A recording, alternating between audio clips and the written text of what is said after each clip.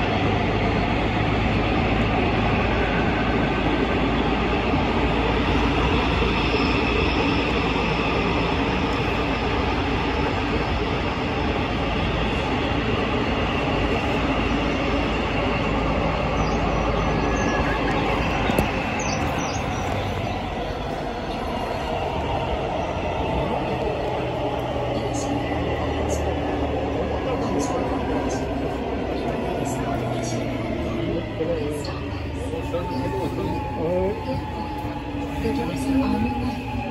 Passengers to enter and get out here.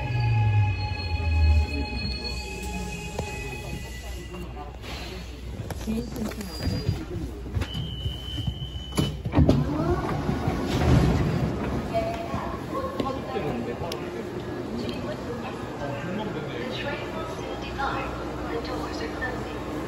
Tuấn Nhung